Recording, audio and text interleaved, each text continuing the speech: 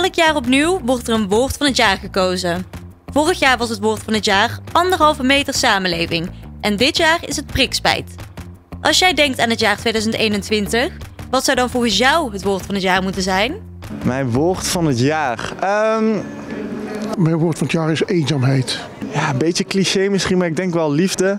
Nou, omdat eh, ja, je kunt niet alles. Je, je kunt niet veel met de kleinkinderen doen. En de ki- kinderen zelf ook niet. Ja, en ook familie en vrienden kun je niet veel zien. Ja, ik denk hoe zwaar moet je alles nemen wat er nu gebeurt. In die end gaat het om jezelf liefhebben, de mensen om je heen liefhebben. Liefhebben wat je leuk vindt, liefhebben wat je doet. Ik heb, ben ook veel dingen gaan doen waar ik misschien anders niet de tijd voor zou nemen. Ja, ehm, verdriet. Maar daar ga ik verder niet over door. Dat ik eens dacht, ja wat is alles om me heen me waard en eh, waar heb ik liefde voor? Dat je een beetje weet waar je staat en je plekje kent. Dus dat, liefde. Maar voor de kinderen is het erg. Niet voor, voor mijzelf niet zo erg, maar voor de kinderen is het echt erg. Liefde. Dat vind ik eh, ja, triest dat die niks kunnen doen. Nou, dat vind ik gewoon heel erg mooi. En dat heb je altijd nodig. Het komt altijd van pas. Ja. Ja, hobby denk ik, hobby.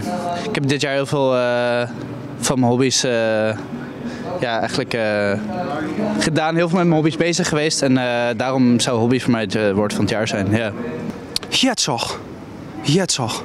Eh, ja, ik ben veel wezen fietsen, hardlopen. Ja, het is een beetje een soort van eh, meme geworden. Op eh, Snap, op Instagram en zo. Was zo'n rapper, Jalo Oba, of ik weet niet hoe ze zijn naam uitspreekt of zo. Veel eh, nieuwe kunstprojecten begonnen. eh, kleding gemaakt dit jaar. Ja, vandaar veel verschillende hobby's. Ja.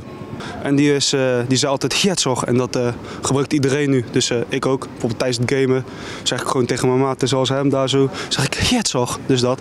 Dat zou ik als eh, woord van het jaar gebruiken. Klik en collect denk ik nou is een beetje act- actueel hè. Nou ja, ik heb niet echt een woord, maar ik heb wel altijd een zinnetje. En dat is: Het punt is. Dat, eh, ja, dat zeg ik blijkbaar best wel vaak. Daar komen we hier ook voor. We kunnen elke winkel eigenlijk nog tussen haakjes in. En we kunnen iets ophalen. Dus dat is eigenlijk wel mooi. Dat is mijn dingetje van eh, afgelopen jaar. Ja,